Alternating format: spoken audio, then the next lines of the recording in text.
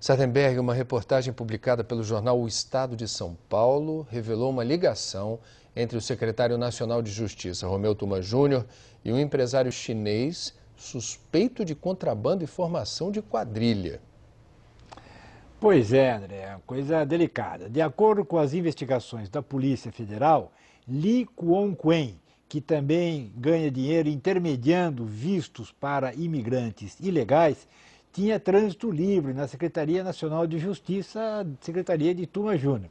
Justamente a secretaria que concede os vistos. O secretário nacional de Justiça, Romeu Tuma Júnior, começou o dia sob o impacto da manchete do jornal O Estado de São Paulo.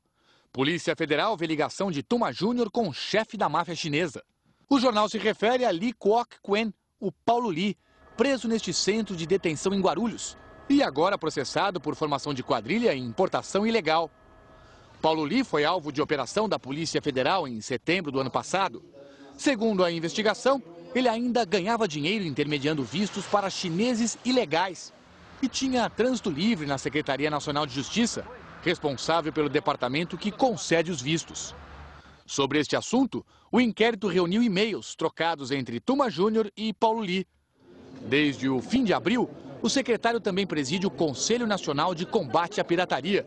E a investigação do ano passado, segundo o jornal, flagrou Tuma Júnior encomendando produtos eletrônicos a Paulo Li, acusado de chefiar quadrilha de contrabandistas. Deixa eu te falar, na, lá, na, lá na Paulista vende aquele jogo I, eu vou dar passadinha ver.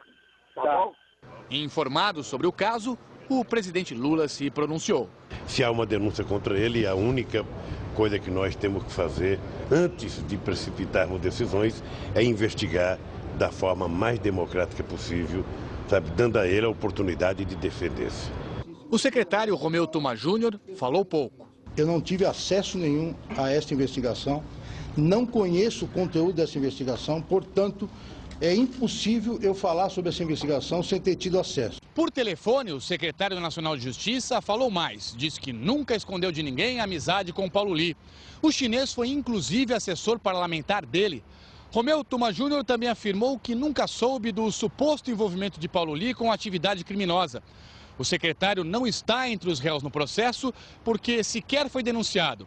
E a Procuradoria da República, aqui em São Paulo, informou que não pediu nenhuma apuração específica porque a investigação não apontou nada de irregular entre Romeu Tuma Júnior e o chinês Paulo Li. O secretário Tuma Júnior teve um encontro hoje com o ministro da Justiça, Luiz Paulo Barreto. O ministro não deu declarações sobre o caso.